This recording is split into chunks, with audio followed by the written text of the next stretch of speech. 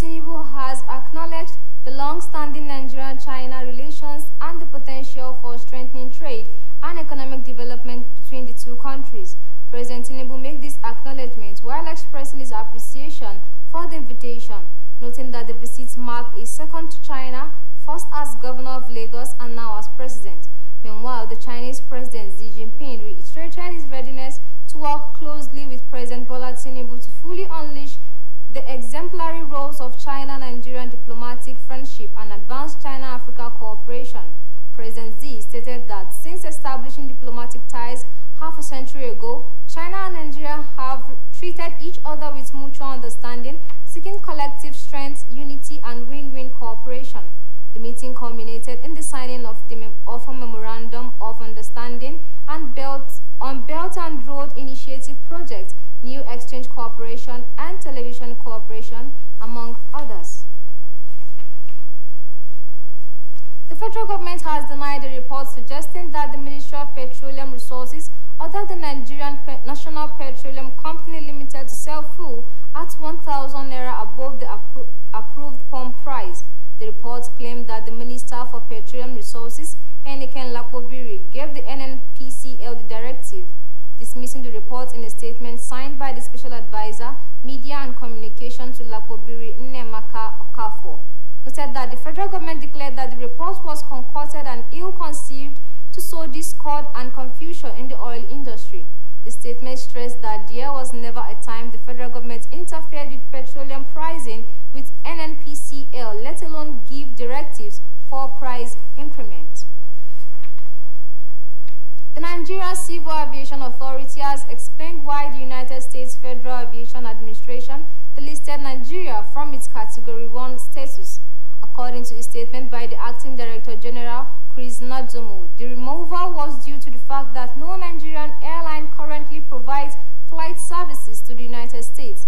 Mr. Najomo emphasized that Nigeria's delisting has had nothing to do with any safety or security deficiencies in the country's oversight system. He stated that Nigeria had successfully undergone comprehensive audits by the International Civil Aviation Organization without any significant safety or security concerns. The statement also noted that Nigerian operators could still operate flights to the U.S.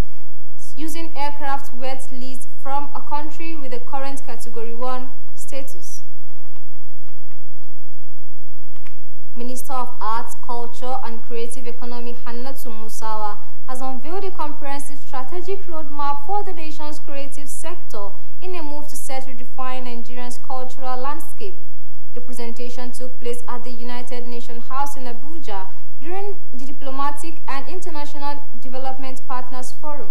The forum, which is a cornerstone initiative by FMACCE, is designed to spotlight the vast opportunities within Nigeria's burgeoning creative economy encompassing arts, culture, and innovation. Mrs. Musa highlighted that the sector is a pivotal driver of employment, particularly for Nigeria's youth, emphasizing that the presentation is a crucial step towards securing sustainable partnership and support reinforcing Nigeria's ambition to become Africa's creative capital. The minister also praised President Bola Tinubu for the role in establishing the ministry, acknowledging his visionary support as instrumental to the ministry's success since its inception. A member of the House of Representatives, Alhassan Doguwa, has stressed the need for the Independent National Electoral Commission to conduct local government elections to promote democracy at the grassroots level. Honorable Doguwa, who represents Doguwa Tudunwada Federal Constituency of Kano State, met the call while addressing his constituents in the ancient city. In a statement made available to newsmen, the lawmaker noted that until the relevant laws were reviewed, the third tier of governments will continue to play little or no part in grassroots development, thus worsening rural-urban migration and its attendant challenges. He noted that INEC is the only reliable electoral umpire and electoral and constitutional laws must be reviewed for INEC to conduct local council elections, otherwise local council elections in Nigeria will continue to be a caricature of what they should be. The lawmaker added that only elections conducted by the electoral body would help deepen the nation's democratic and enhancing our electioneering system. announced to support the president of Badminton Federation of Nigeria, Francis Orbih, has described Eniola Bolaji's bronze medal feat at the Paris 2024 Paralympics Para Badminton event as a product of investment. Francis Orbih hailed the player for putting Nigeria on the badminton map, saying she crossed through the hurdles to achieve the feat. Bolaji defeated Kozyna Oksana of Ukraine 21-9 to win a bronze medal and become the first Nigerian and African athlete to win an Olympic or Paralympic medal in badminton. The president added that though the journey was a rough ride, but a medal was earned to show for the efforts and investments both on the part of the federation and more importantly from the player. He noted that the star's remarkable victory is a testament to her unwavering dedication, exceptional talent and relentless pursuit of excellence adding that our achievement has become a source of inspiration for aspiring athletes across Africa and Nigeria.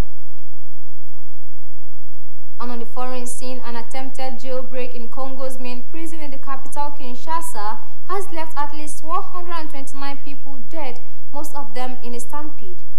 Congolese Interior Minister Jacquemin Shabani said the provisional assessment showed that 24 inmates were shot dead by warning gunshots as they tried to escape from the overcrowded Makala Central Prison in Kinshasa. The Interior Minister stated that there are also 59 injured people taken into care by the government as well as some cases of women raped, adding that the order has been restored at the prison, part of which was burned in the attack.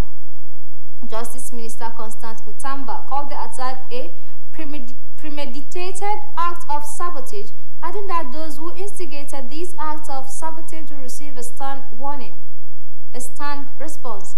Justice Mutamba also announced a ban on transferring inmates from the prison, saying authorities will build a new prison among other efforts to reduce overcrowding.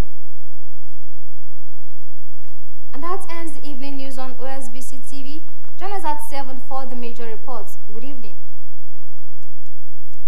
Thank